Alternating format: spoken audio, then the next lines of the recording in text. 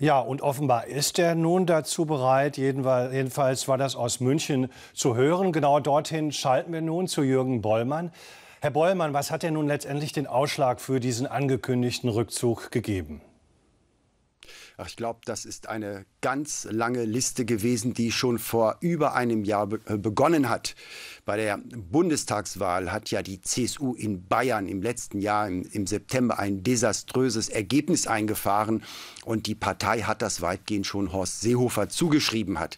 Anschließend gab es den Streit mit der Bundeskanzlerin. Diese Personalquerelen, die werden ja in der Partei gar nicht gern gesehen. Die belasten die Politik. Auch im äh, Landtagswahlkampf hier in Bayern wurde doch Horst Seehofer von vielen in der CSU dann als äh, Belastung empfunden. Und das schlechte Ergebnis bei der Landtagswahl in Bayern, auch das hat man zu einem großen Teil dann auch Horst Seehofer zugeschrieben, der ja immerhin Parteivorsitzender äh, ist und während der Landtagswahl deshalb eigentlich auch hätte der oberste Wahlkämpfer sein müssen. Nun, man kann sagen, es war eine lange Zeit der Entfremdung zwischen Horst Seehofer und seiner Partei. Und was in den letzten Wochen wirklich sehr auffällig war, ist, wie sehr er auch den Kontakt hier zu engen Vertrauten in Bayern eingestellt hat. Dieser Riss war zu erwarten. Es war eher erstaunlich, wie lange das gedauert hat, bis es jetzt so ein Ergebnis gegeben hat. Ja, nun gibt er offenbar ja den Parteivorsitz Anfang nächsten Jahres dann ab, aber äh, gleichzeitig wohl auch, äh, oder jedenfalls ist es zu hören, das Amt des Innenministers. Warum diese Kopplung? Er hätte doch eigentlich weiterhin Innenminister bleiben können, oder? Ja, da ist ja nichts bestätigt, das sind Vermutungen, aber man muss auch sagen, das ist doch sehr naheliegend. Horst Seehofer hat ja nie für den Bundestag kandidiert, er ist nicht Abgeordneter im Bundestag. Und als er Bundesinnenminister wurde, hat er sein Landtagsmandat hier in Bayern niedergelegt. Wenn er jetzt noch den Parteivorsitz abgibt, dann hat er eigentlich gar keine politische Hausmacht mehr, keine Rückendeckung.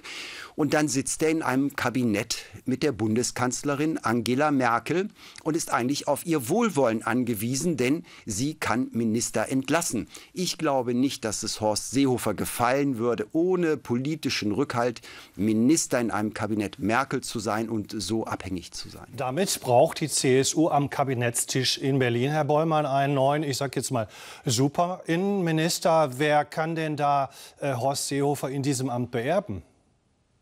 Ja, Kandidaten hat die CSU schon, aber ich glaube, da ist nichts entschieden. Es gibt so etwas, na sagen wir mal, wie einen natürlichen Nachfolger äh, für Horst Seehofer. Das ist der bayerische Innenminister Joachim Herrmann. Aber der hat doch in letzter Zeit immer wieder klar und deutlich gesagt, er will Innenminister in Bayern bleiben. Dafür spricht auch, dass er sich offensichtlich mit dem Ministerpräsidenten Markus Söder sehr gut versteht und Markus Söder schon seit langem sagt, dass äh, Joachim Herrmann eine wichtige Stütze für ihn ist. Und man kann sich daran erinnern, nach der, bei der Bundestagswahl vor einem Jahr war ja Joachim Herrmann schon einmal im Gespräch, um als Minister nach Berlin zu gehen. Das hat er dann damals auch nicht gemacht. Jetzt ist äh, bei der CDU einiges in Bewegung, jetzt bei der CSU. Man wird sich einen neuen Vorsitzenden wählen. Herr Bäumer, der CSU war ja der Einfluss in Berlin äh, immer äh, auch nicht unwichtig, um es mal äh, so zu formulieren. Was bedeutet das für die Christsozialen, äh, wenn da jetzt alles in Bewegung gerät mit Blick auf Berlin?